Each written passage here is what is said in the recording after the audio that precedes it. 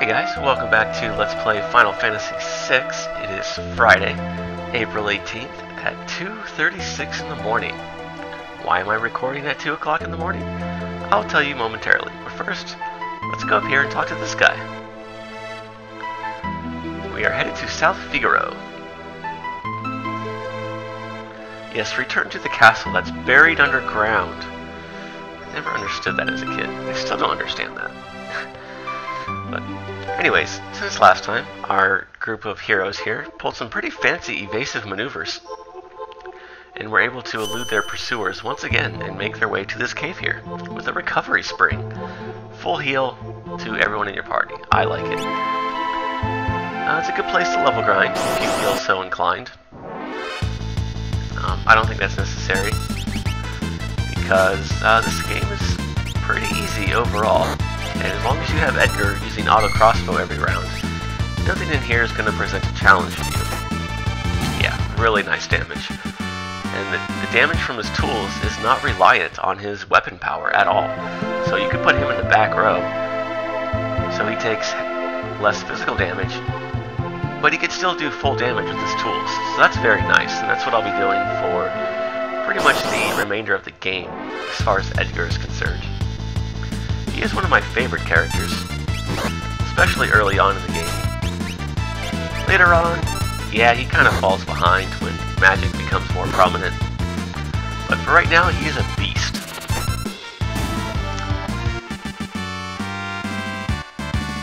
I usually am about two levels higher when I play this game, but the only real difference is we'll have some more HP. That's it. It's nothing critical. Now before you open this chest, and every chest in this cave, I'm going to do a save right here. Just like in the Narshe Caverns, all the chests here, if you save them for later, the contents will be upgraded to a better item. But just for reference sake, I will show you what you can get now, and tell you what you can get later, and you can decide for yourselves what you want to do. In this one, we get a tincture. You might remember that restores 50 MP, but I do not want that. Later on, that becomes a bolt rod, and if you wait even longer, that upgrades yet again to a hero's ring, which is very nice. Hero's rings increase your magical and your physical damage by 25%. One of my favorite accessories in the game. So I'll be saving that treasure box for way later so we can get that.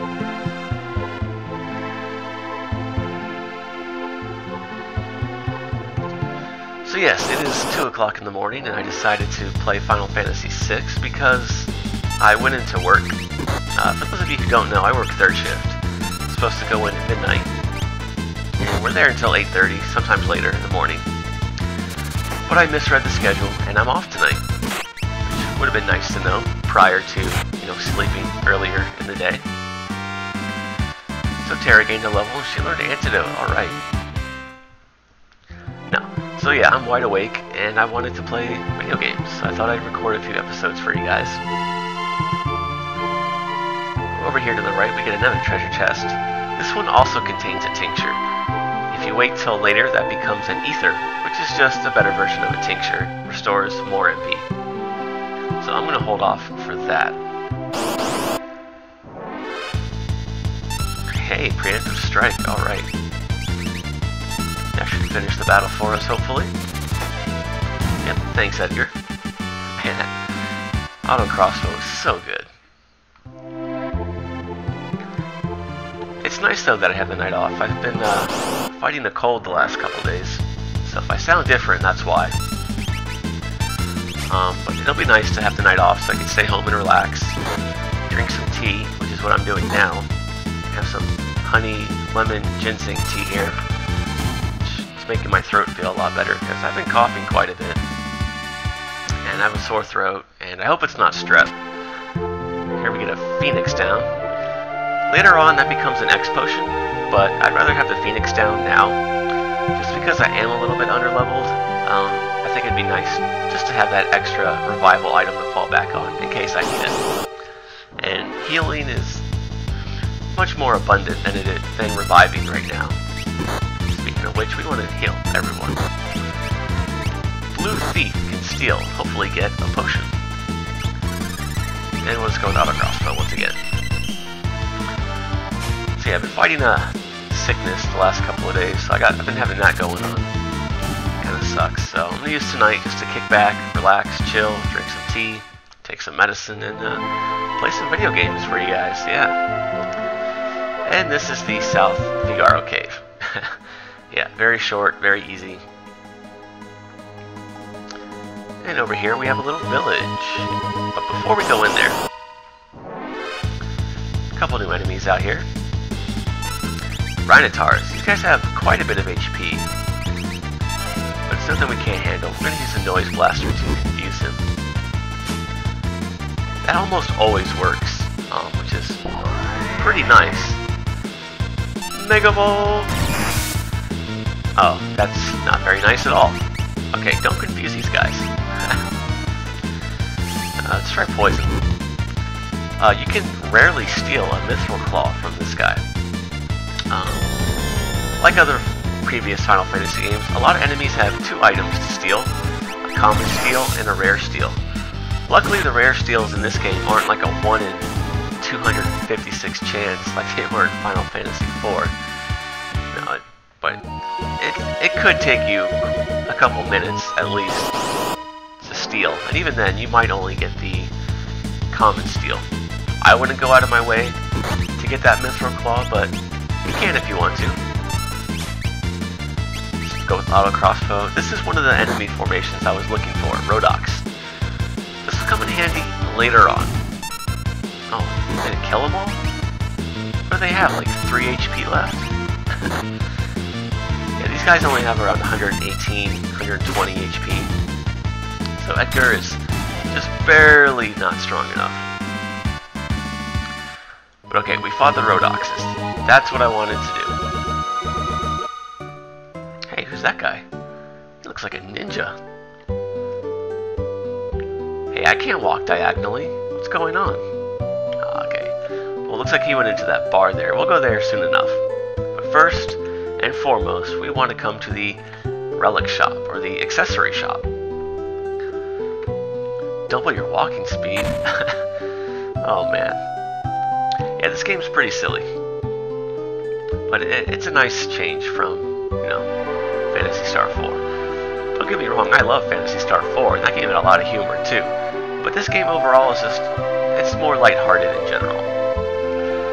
And here we get a little brief description of a couple of the accessories in the game, but I'll go over those when we get them.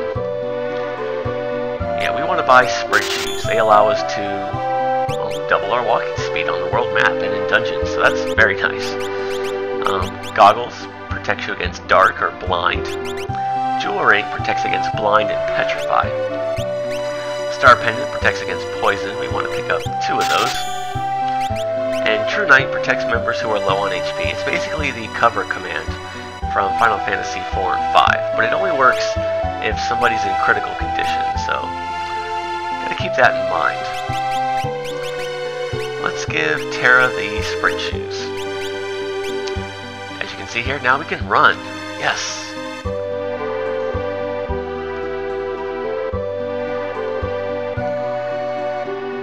A moment to save my game real quick. Now that Edgar's alive and well. And here we get our first dose of the world map music. I like this theme, it's very nice. I like all the music in this game, but you guys already knew that. So, anyways, now once again, all the items you can find here, if you wait until later in the game, will be upgraded. So I'm going to do a quick save here so I can show you guys what you can get now. By the way, this is the last time where we'll be doing this. They don't do it throughout the whole game, thankfully. But in that barrel, we can get a tonic. Come down here for a soft potion that will cure somebody if they're stoned. Out of my way. Here we get a green cherry. That'll cure the imp status. Um, it's basically Toad. It renders your physical attacks nearly useless, and you can only cast, I think, the imp spell. Here we get an eye drop and an antidote. Both of those pretty self-explanatory there. I think there are two more items that we can get. Tonic. And we want to come all the way over here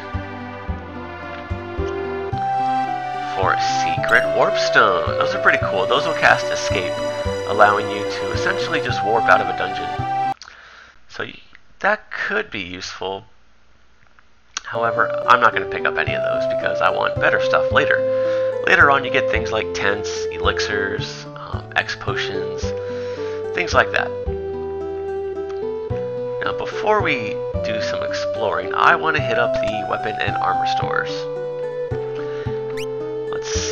we want to buy... Mm-hmm. Nothing. Actually, we're in pretty good shape there. We'll just pass down the Mithril Blade to Locke, which we had from Edgar. Okay, here we want to buy quite a few things. We want to get a Kung Fu suit for Locke, Cotton Robe for Terra. We want to get three plume hats. Actually, no, we want to get five. Three for now, two for later. Let's get a heavy shield for Edgar there. So we have two bucklers. Okay, we're good.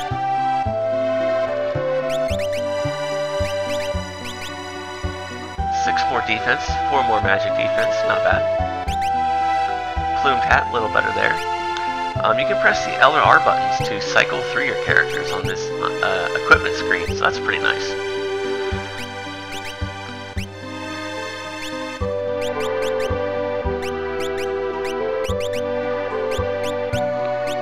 I'll sell everything um, off screen in between episodes. Now that we have our first uh, set of new equipment, I thought this would be a good time to go over the status screen a little bit. We'll start with Edgar. Um, typical status screen, you have your total experience, and right beneath that, how much you need for your next level up. On the left, you have your basic stats, Vigor, Speed, Stamina, Magic Power. Uh, your vigor is your strength. I think that's changed in future translations to actually say strength. Uh, vigor, that, that affects the damage of your physical attacks and physical abilities. Speed obviously uh, affects how quickly your ATB gauge fills up. Stamina is a weird stat. It it affects your character when they have the regen status effect, which gradually restores HP. It also affects the likelihood of them being hit by instant death.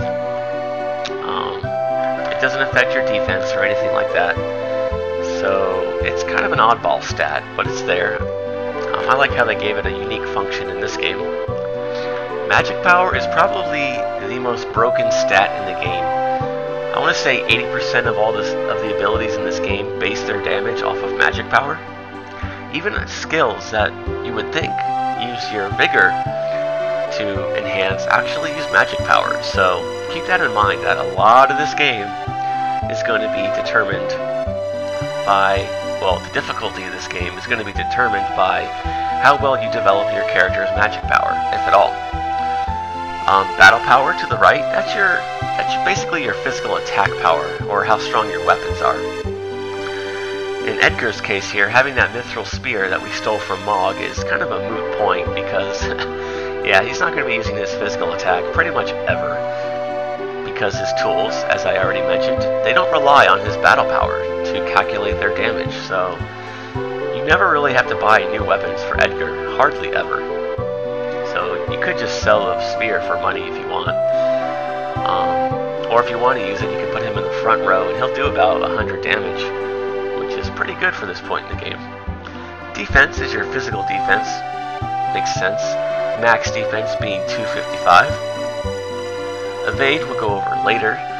Magic defense is your magic defense. Again, the cap is 255, and it does what you think it does. Your magic block percentage, that's your magic evade percentage. That basically is a flat percentage of how well you can block or dodge magic attacks there we are. There's our status screen. Um, in future translations, like the Game Boy Advance version and the iPhone and Android version, each character has a job, which I believe is listed just next to their name. Um, I believe Edgar was like a, an engineer. They call Locke an adventurer, but he's he's a thief. Um, as you can see here, his speed is 40, which is pretty good. Terra's like, I think her job is Magitech Elite, and hey, she's about to level again. Very nice.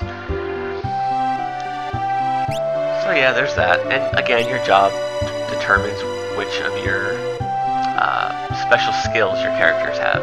Whether it's tools, magic, steal, things of that nature. Here we have a secret passage. Hey, hey. And I'll talk to the townspeople and explore.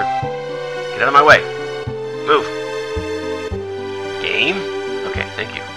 Oh my god. Fast forward, thank you. God, I hate that. and here we have Shadow's theme. I love this theme. Let's talk to this guy. Yeah, I spoiled his name two seconds before we find out. Sue me. Man, this guy's rude.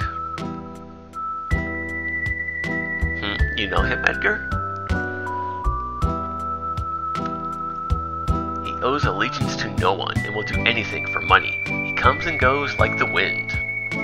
Yeah, this is Shadow, one of my favorite characters in the entire game. As you can tell by both his sprite and his artwork here, and well, his name, he is a ninja. He is very fast, and if you're familiar with ninjas in Final Fantasy, he has the throw command, which is actually very well done in this game, but I'll go over that later. Slit his mama's throat for a nickel.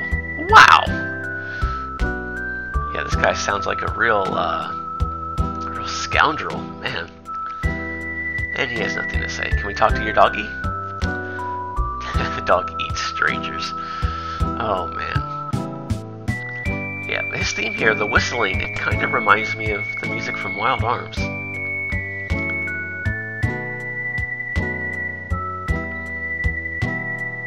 Now remember this for later. Very important that you do so.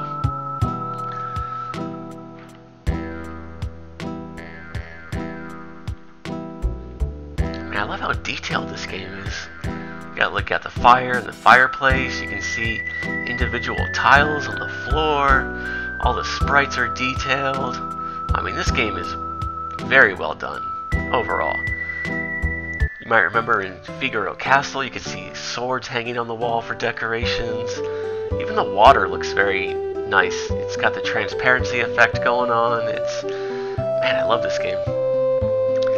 Well, that's all I wanted to do in this episode. I just wanted to show you guys the town here, do a couple of tutorial segments, introduce you to Shadow, and that's that's pretty much it. So next time we'll finish exploring the town of South Figaro here some information on the returner's hideout if we can, because if you remember, that's, that's where we're going.